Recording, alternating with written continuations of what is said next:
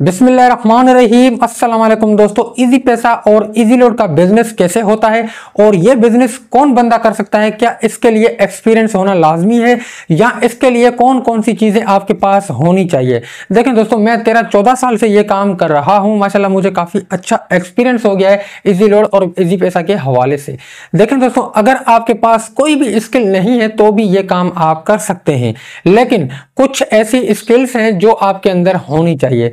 कौन सी स्किल आपके पास होनी चाहिए और बगैर किसी स्किल्स के आप ये काम कैसे स्टार्ट कर सकते हैं? देखें दोस्तों, इसके लिए आपका पढ़ा लिखा होना ज़रूरी नहीं है और ना ही आपके पास कोई डिग्री का होना ज़रूरी है। इसमें सिर्फ़ और सिर्फ़ आपके अंदर यह स्किल होना चाहिए कि आपको बात करने का तरीका आना चाहिए। फॉर एग्ज़ाम्पल कोई कस्टमर आपके पास आता है, आपको बोलता है कि भाई इजी पैसा कर दो। आपने उनके इजी पैसे कर दिए, दो दिन के बाद वो आता है कि भाई, आपने जो इस नंबर पे इजी पैसा किया थे, किए थे, वो तो सामने वाली पार्टी को नहीं रिसीव हुए हैं। तो आपको, आप उसको किस तरह से गाइड करेंगे, ये आपका काम है। आप उसको ऐसा नहीं बोलेंगे कि भाई, उसी दिन आते तो मैं आपको दिखा देता मैसेज आज दो दिन हो गए, मेरे पास मैसेज नहीं है। तो दोस्तों, इस तरह से आपकी जो ग्राहकी होगी, वो खराब होगी और कस्टमर आपके पास दोबारा नहीं आएगा।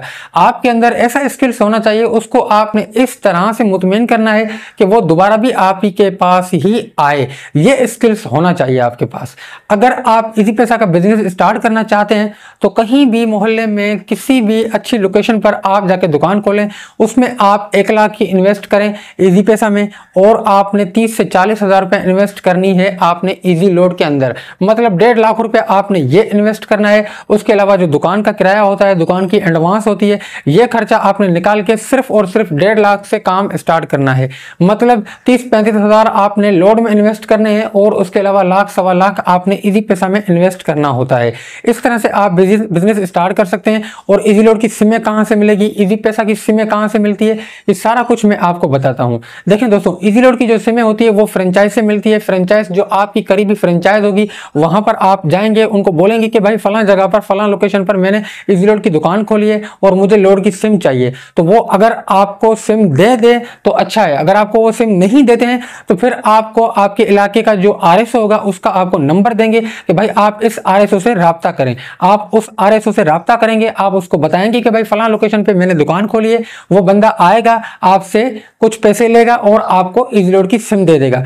एक दो दिन में आपकी इजीलोड की जो सिम होगी इजीलोड की जो सर्विस होगी, वो एक्टिवेट हो जाएगी, क्योंकि जो फ्रेंचाइज आपको सिम देगी, जो आर आपको सिम देगा, वो सिम मैप नहीं होती है। वो सिम मैप होने में 24 घंटे भी लग सकते हैं 48 घंटे भी लग सकते हैं। जब सिम मैप हो जाएगी, उसके बाद आपका इजी लोड आना स्टार्ट हो जाएगा। उसके बाद 10-12 दिन आप इजी लोड का काम करेंगे। उसके बाद आप फ्रेंचाइज पे जाएँगे, वहाँ पर एक फॉर्म भरेंगे कि भाई ये मेरी लोड की सिम है और इसी जेस की लोड की सिम के अंदर मुझे मोबिकेश का अकाउंट बनवाना है। पंद्रह दिन से लेकर एक महीने तक का टाइम होता है वो। एक महीने के अंदर अंदर आपको मास्टर अकाउंट जेस कैश का खोल के देंगे। उसके बाद आप उसमें डिपॉजिट कर सकते हैं। डिपॉजिट कैसे होगा? आप फ्रेंचाइज से बैंक अकाउंट लेंगे। उस मुतल बैंक में जाएँगे, वो स्लिप भर के आपने पैसे उस अकाउंट में जमा करने हैं। वहाँ से आपको स्लिप मिलेगी, वो स्लिप आपने फ्रेंचाइज वालों को व्हाट्सअप करनी है, उतने का आपको मोबी कैश आ जाएगा आपकी मास्टर सिम में।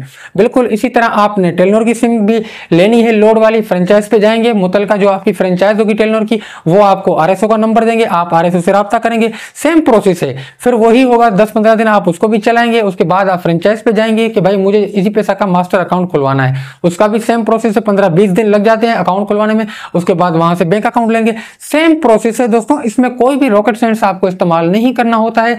सिर्फ़ आपने उसमें अलर्ट रहना होता है, क्योंकि इजी लोड और इजी पैसा का काम ऐसा है, इसमें अगर आप थोड़ी भी मिस्टेक करते हैं तो आपके पैसे चले जाएँगे, आपका लोड चला जाएगा।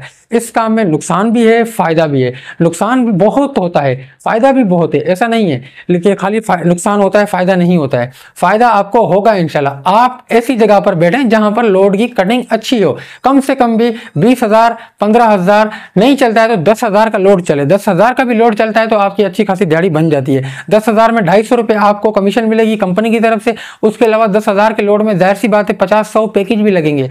पर पैकेज पर आपको बीस रुपये लेने हैं कस्टमर से। दस बीस तो लेने ही लेने हैं कस्टमर से। अगर आप दस बीस लेते हैं, पचास सौ पैकेज लग जाते हैं तो सात आठ सौ हज़ार ये भी बन जाता है। इस तरह से दोस्तों आपको ये काम स्टार्ट करना होगा। इजी पैसा में भी अच्छा खासा प्रॉफिट मिल जाता है। एक हज़ार रुपए दस रुपए सेंडिंग के लेते हैं और बीस रुपये कैश आउट के लेते हैं, जो कि कंपनी का कमीशन होता है, आपको भी मिलता है। अब ये जब आप काम स्टार्ट करेंगे तो आपको बात समझ में आ जाएगी कि भाई काम किस तरीके से करना है और किस तरीके से करेंगे तो फ़ायदा ज़्यादा होगा, किस तरीके से नहीं करेंगे। इस तरह से आपको मालूम बढ़ती जाएगी। आप जैसे काम करते जाएँगे, आपकी मालूम में इजाफा होता जाएगा। उम्मीद करता हूँ दोस्तों, ये मालूम आपको अच्छी लगी होगी। अगर ये मालूम आपको अच्छी लगी है तो वीडियो को लाइक कर दें। चैनल पर पहली बार आए तो चैनल को ज़रूर सब्सक्राइब करें। दोस्तों, अल्लाह हाफिज़।